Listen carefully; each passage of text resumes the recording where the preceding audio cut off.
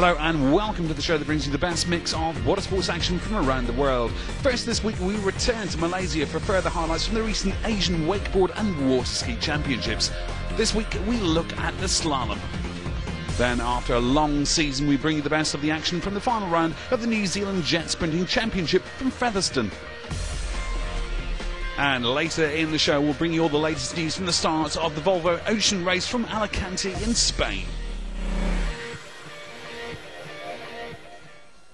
So let's get things underway. We start first with highlights of the Asian Wakeboard and Water Ski Championships from Malaysia.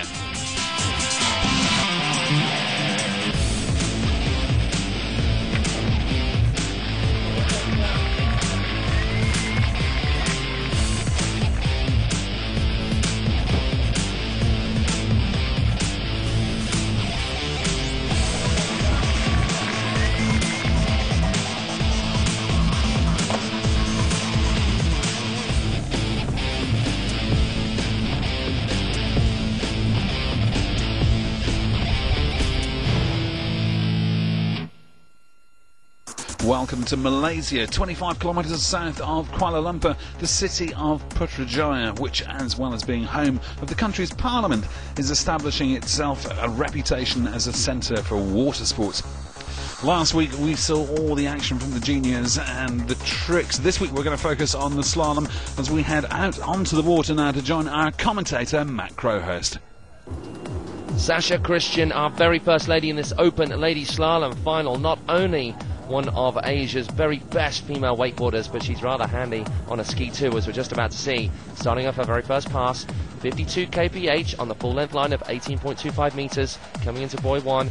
Idea to keep that line nice and tight. Keep the speed through every turn so you're not accelerating and decelerating because that's when the G really starts to come into effect on the body through each turn. Getting a little bit late, braking at the hips, super late coming into this last buoy and just about makes it and needs to get back in between the gate buoys and I'm not sure she did. We'll wait to see what the judge's decision is on that, and that will be affirmative. Perhaps missing buoy number six.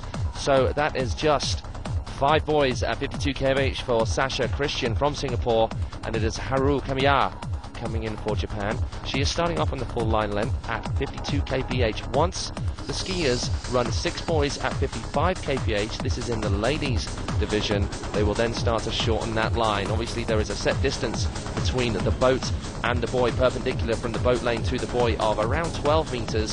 So the shorter you make that line, the more difficult it is for skiers to get round those buoys. Here comes Haru, setting herself up, pulling out wide to the left-hand side of the ski boat as she looks at it. To the right as we're looking at it right now. Wanting a nice smooth turn, getting as much angle out of that turn as possible.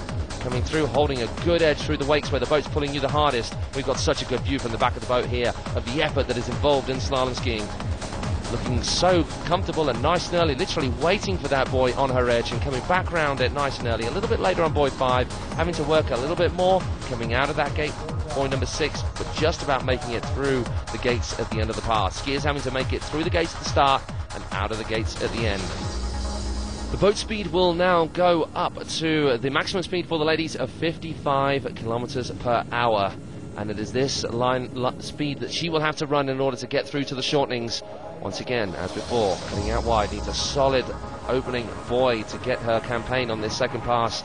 Going well, and is going well, coming round buoys 1, 3 and 5, which is a good side turn, very smoothly indeed. Breaking at the waist on her bad side turn, 2, 4, 6. Can she muscle it through to that last buoy? And I'm not sure she does and she doesn't make it back to the gate buoys either, but working so, so hard, Haru there, and that will be a confirmation of five buoys at 55 kph, the full speed for women on the full length line as her final results. It is Korea on the water next, and it is Nana Seo who is pulling into the course. Out nice and wide, and we've got a view from the bank now, just to get a little different perspective on what that slalom course involves. Coming through the gates nicely, the uh, judges on the sidelines and on the boat will be uh, assessing as to whether she came through those gate buoys cleanly. That is all important, or else this run will not count. Coming halfway through the course now, getting a little bit late on that last turn. Buoy number five, she makes up a little bit of ground and comes round buoy number six nice and cleanly and back to the exit gates in plenty of time with not a puff or a pant on her person at all. She's taking it in her stride on that very first pass. The top end now is the Ski Nautique, the pulling power behind this weekend's proceedings on the water. Comes up out of the water. Each time the skiers run a course, they will get dropped in at each end just to let the water settle. We need that water nice and calm for all of the sports taking part at this uh, Asian water ski and wakeboard games. But most definitely for slalom. Oh, and a big, big, big aggressive turn coming round buoy one. I wonder whether we'll see a replay of that, but just not um, able to hold the slack. So even a little bit late and just cranking that turn a little bit too hard, not maintaining the speed round the buoy, and you notice the slack in the line that was just too much for Nana to handle.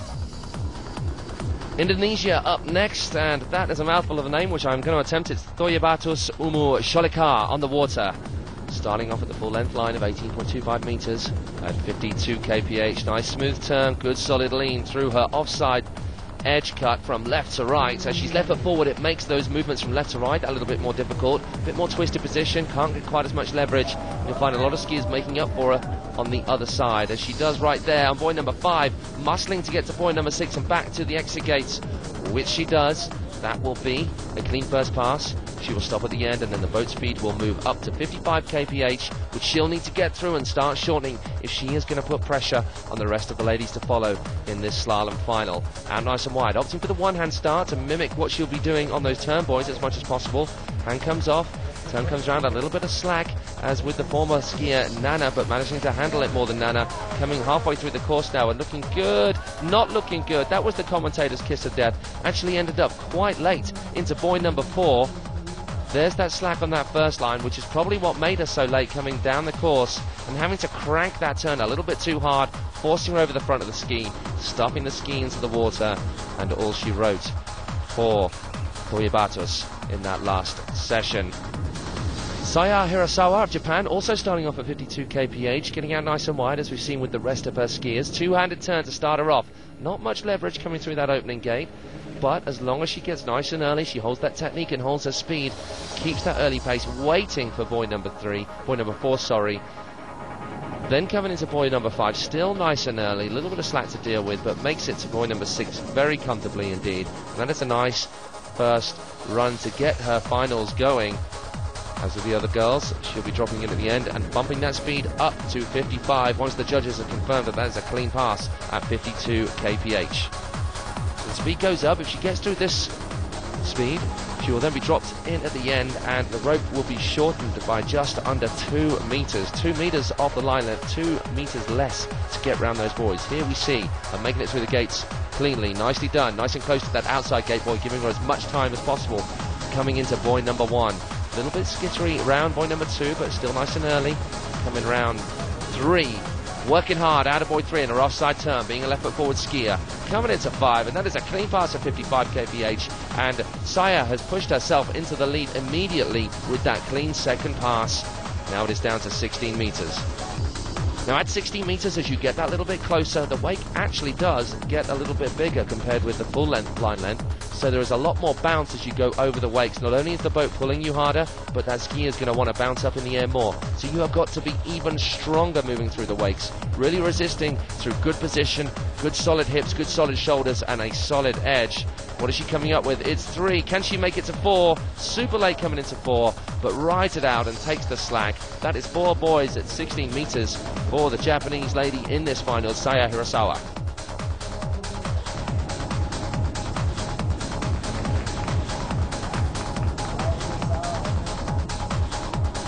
And now, rounding off this open ladies slalom final, it is Philippa Yoong, eldest sister of Aaliyah Hanifah Yoong, we saw doing so well in the trick final. It's up to her older sister now to come up with the goods and maybe find herself on the podium to make it an all-family winning affair. Looking good in this very first pass. Oh, a little bit of a wobble coming into buoy number three. Makes it around four good and five. Settles herself into the remaining part of this first pass manages to make up time in that second half of the first pass, looking very comfortable. Philippa actually went out at the full maximum speed of 55 kph, so she will now be shortening straight in to 16 meters and attempting to take the top spot. Going out last in this ladies' final gives her the fortunate position of knowing exactly what she needs to do to come out on top. That marker is four buoys at this line length Starting off well, a little bit late on the gate, buoys, but a solid turn, not too much slack, nice and early coming into two, solid position, getting pulled up a little bit early out of buoy number two. Three's good, four's good, five is good, and that is the title. Is she going to keep going? Yes, she is. That is going to be a happy girl with the gold in her possession after that second pass. And now, all she's doing is skiing for pride, just wanting to push it a little bit harder to impress her homegrown fans, being a Malaysian herself. There's no harm in the pressure being off and her just going that little bit more, seeing what she can come up with. So she's down to 14.25. Another just less than two meters off the line length. And at this point, the actual weights become smaller again, so you don't have to wrestle with too much bounce coming through the weights. But obviously, there is a lot less line length to be dealing with. Good first buoy, getting pulled up a little bit semi good number two, but it wasn't going to be. Oh, wow, she really did push it. Throwing the ski out of boy number three, giving it all she's got. That is awesome work from the Malaysian and a number one spot, the title of Asian water ski champion in the slalom division of the Open Ladies goes to Philippa Yoong. Confirmation then of that result. Haru Kamiya of Japan third, Saya Hirasawa also of Japan second, and Malaysia's Philippa Yoong taking the title with two buoys on 14.25 metres. And there's more from Malaysia coming up after the break.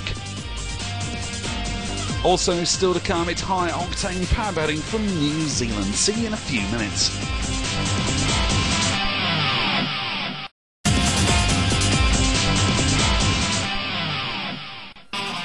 Welcome back to the show. We now return to Malaysia for highlights from the Asian Wakeboard and Water Ski Championships.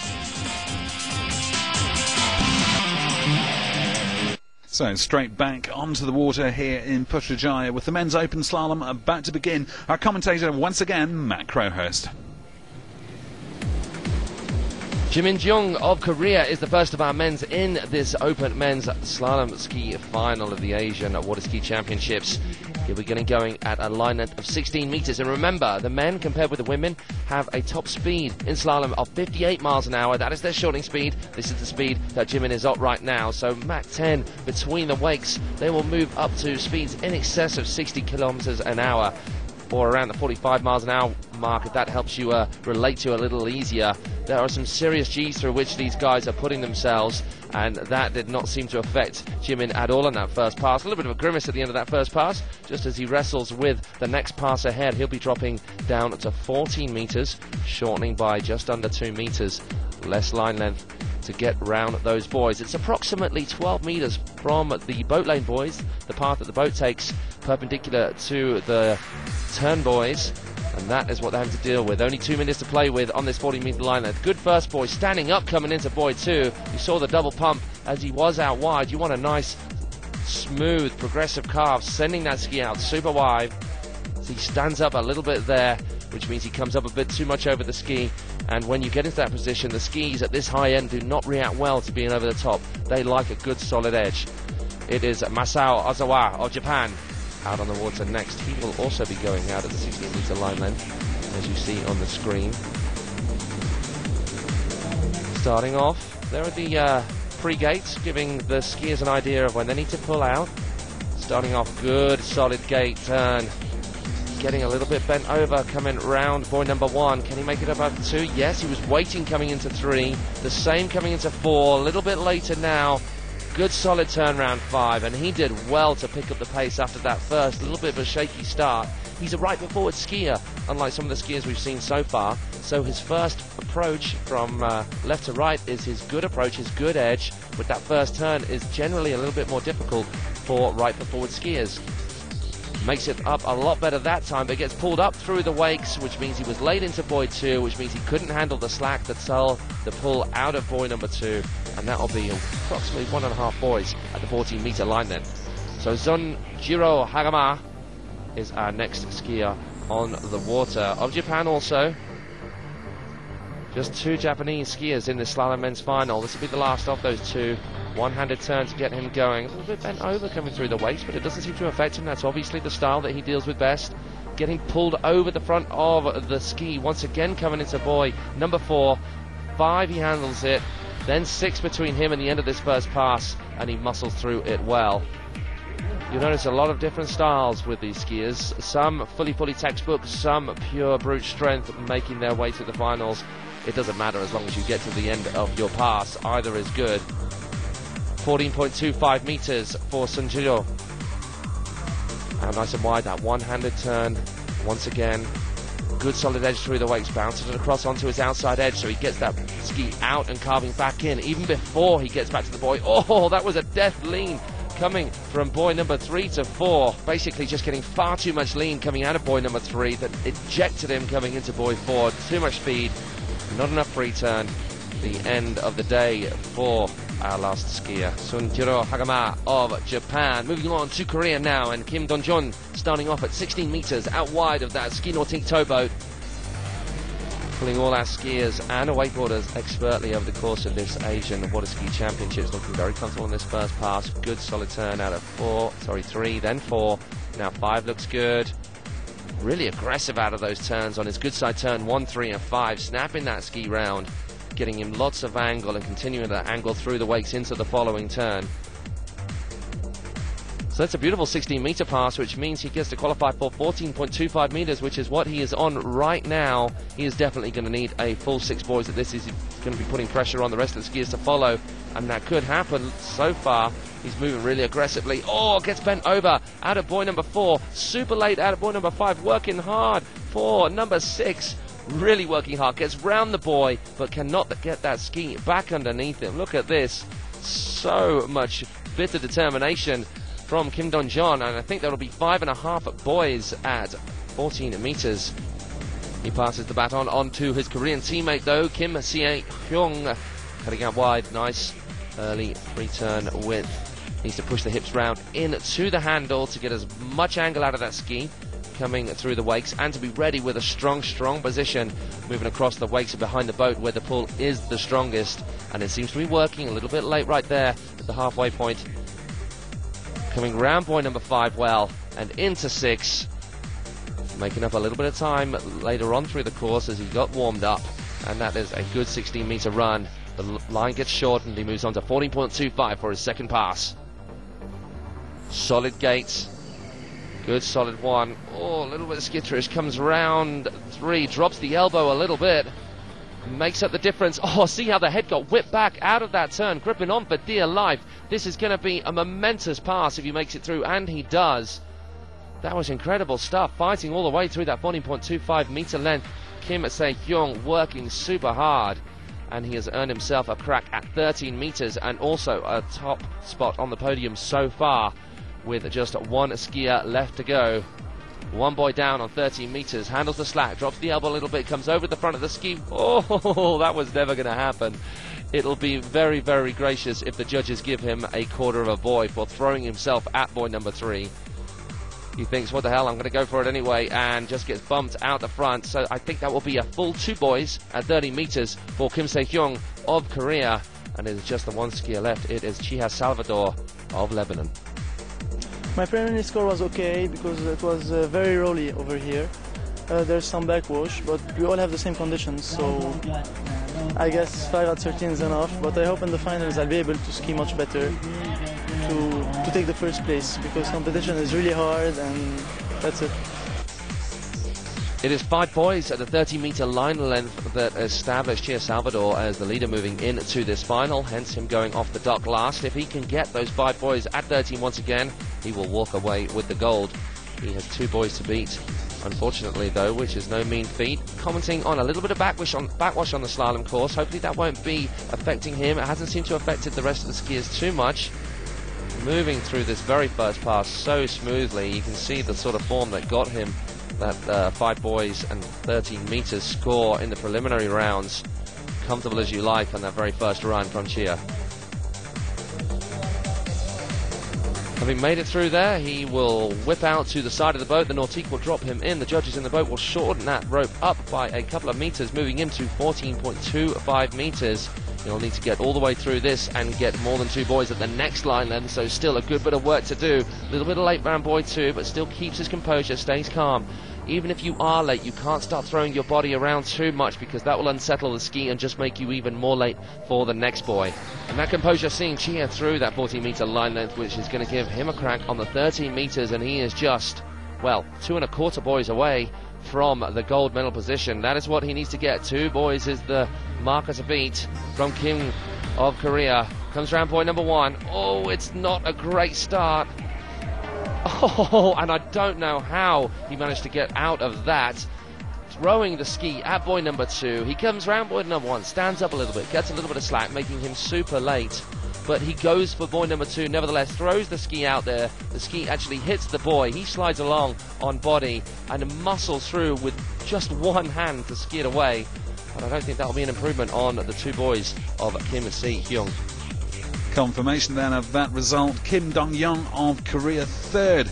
Salvador Chiha of Lebanon second and Kim Si Hyung of Korea taking the title with two buoys on a 13 metre line.